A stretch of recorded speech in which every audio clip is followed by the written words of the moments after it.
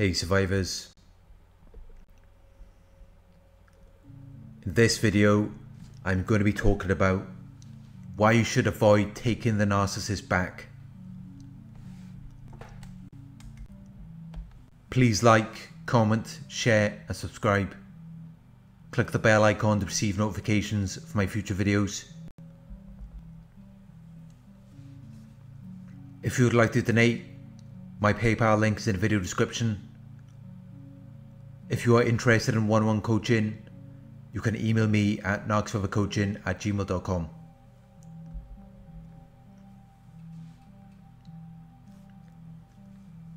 Check out the new merchandise in the Narc Survivor store. We have new designs on our t-shirts, tank tops and mugs.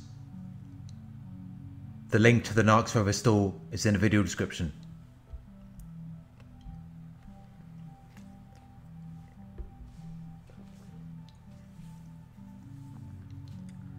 Avoid taking the narcissist back. Remember the reasons why you left the narcissist or went no contact. You had enough of them and you didn't want to deal with them anymore. If you take them back, they are not going to act differently or the way that you would like. They will actually be a lot worse than they were before.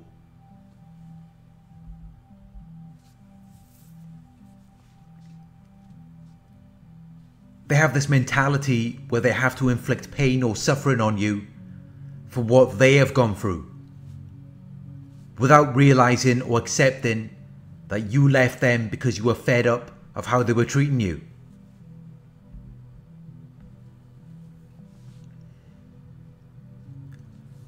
They are not going to reflect on everything that they have done which led to you leaving them. They are not going to reflect on anything that they have done wrong.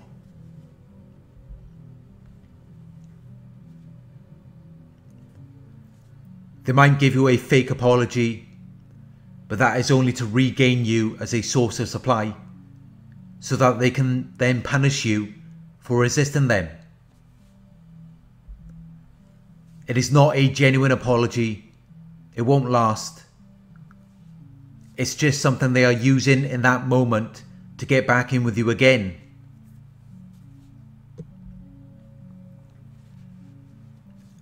A narcissist cannot maintain appropriate behavior. At some point, they will reveal their true colors, and then it will be worse than last time. They have to punish you for rejecting and resisting them.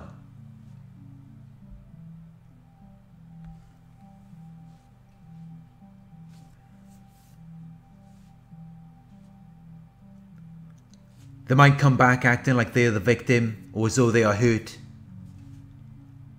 But the reality is that they created these circumstances. They brought these unfortunate events on themselves. But they refuse to acknowledge the source of their problems, which actually comes from them. They are the source of the problem and deep down they know it, but they refuse to acknowledge it.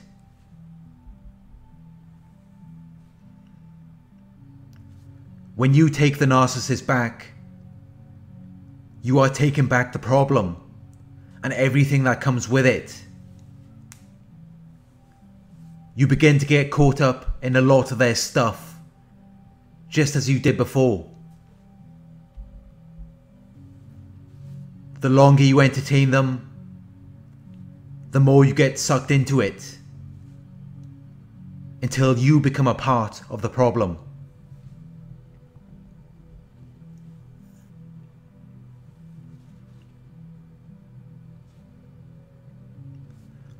When you entertain what they are saying to you, it gives them an opportunity to come back They always create problems for people and get them caught up in stuff. That's just how they are. They will try to convince you that you are a part of the reason why they are the way they are, or why they did what they did. And once you start believing in that, it gives them an opportunity to come back. It makes you more accepting of the abuse. You begin to believe that maybe you deserve it. Maybe you were a part of the problem. So now you need to take them back and help them or give them whatever they need. This is why they want you to share the responsibility of their faults or mistakes. They have to involve you in their dysfunctionality as though you are a part of it. As though you are equally responsible for what had happened.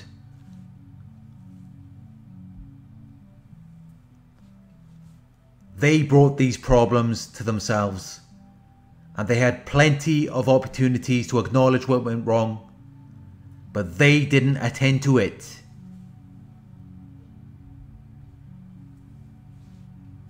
They didn't attend to the problem and follow the correct procedure or take the proper measures which could have been more favourable to them and produced a different outcome.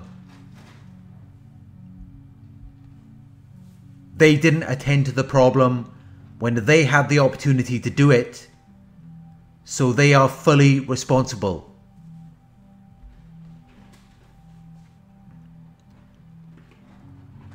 They made the choice. They made the, the decision to not acknowledge what was happening in front of them. But now they want to blame you and make you think that you are a part of the problem.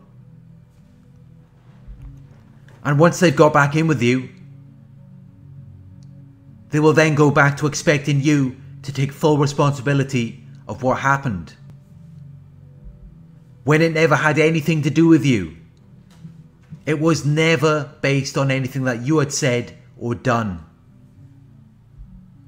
In most cases, it was something that happened to you something that they did to you.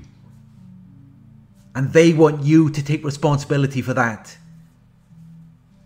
As well as the consequences of what originated from their ignorance and poor decisions.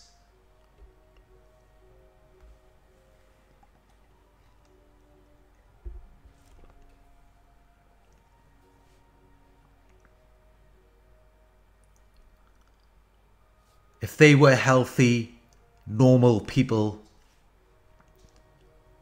they would just acknowledge what they have done wrong. Instead of blaming you, they would accept that they were the cause of the problem. Even a normal person might feel shameful or embarrassed to acknowledge their faults or mistakes. But for a narcissist, it's far worse.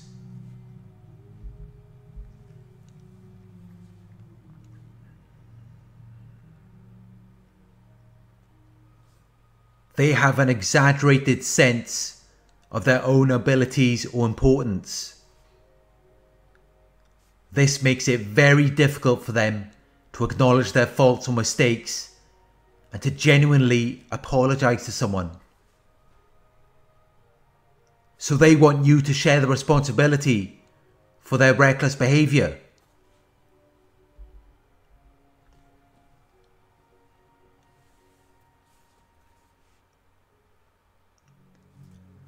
The only way that anything is going to change is if they modify their behavior and change how they respond to these types of situations. That is the only way that they're going to be able to solve anything. Nothing is going to change with them.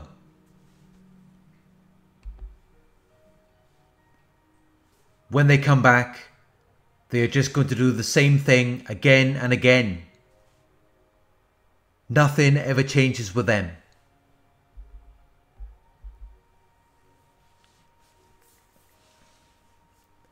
They have a persistent feeling of ill will or resentment resulting from you rejecting or resisting them. They will come back and do something much worse than they've ever done before. But they always find a way to justify it in their minds. Not in a way that is based on facts or logic, but in a way that is based on their emotions. Their emotions become facts, and if they feel a certain way from you rejecting or resisting them, they believe that gives them the right to destroy you. This is what makes them so dangerous. They don't think before they do something. They don't logically assess anything in their minds. It is all based on their emotions, and their emotions become the facts. This then becomes a grudge and resentment, where they develop this tit for tat mentality and feel like they have to lash out at you. If you decide to take them back, you should expect them to still have a lot of envy and resentment towards you.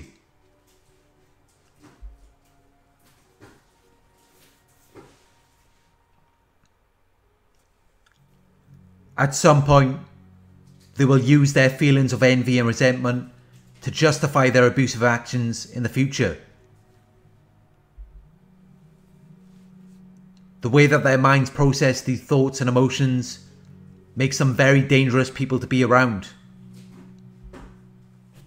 This is what makes them do some of the most unimaginable, destructive things that can often be unfavorable to them.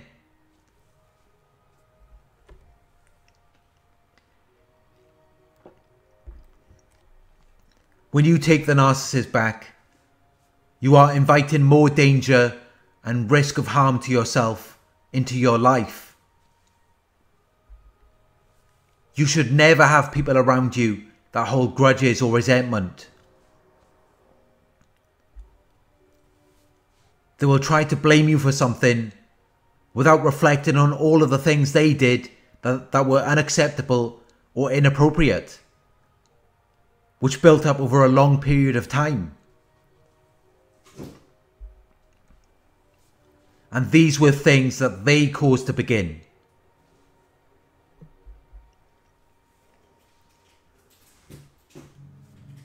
When all of these things build up and finally produce a reaction from you, they act like they are the victims. To make you feel like you have to share the responsibility of what they've done.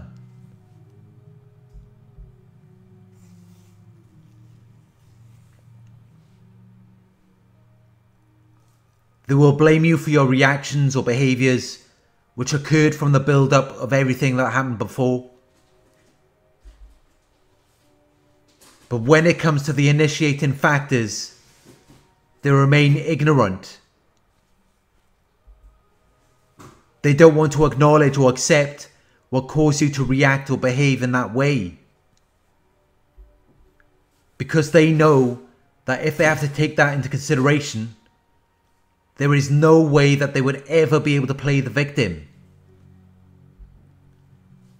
They would have to acknowledge everything that you have been through and then understand that you are only operating off the programming that they had installed within you. And that's just too much for them to accept. They can't accept that you are reacting to their negativity or things that happened from the past. They don't want to make that connection because then they wouldn't have a leg to stand on.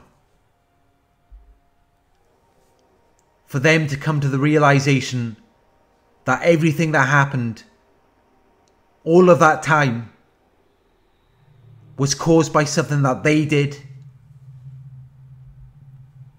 Even for a normal person, that is a huge pill to swallow. But for them, it could send them into a state of fear or panic.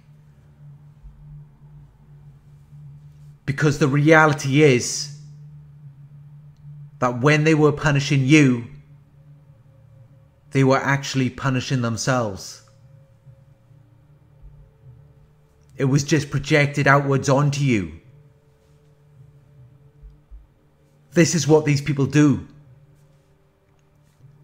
They punish the true victim, who is a reminder and a reflection of their wrongdoing. They don't want to be reminded of that.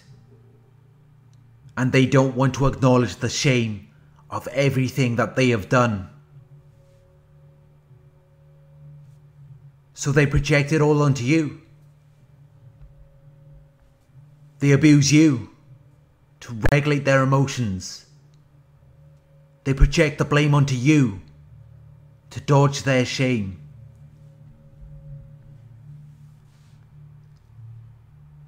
So, no matter what they've done to you, no matter how bad it was, if they come back, all they can do is further abuse you again and again and that will never change.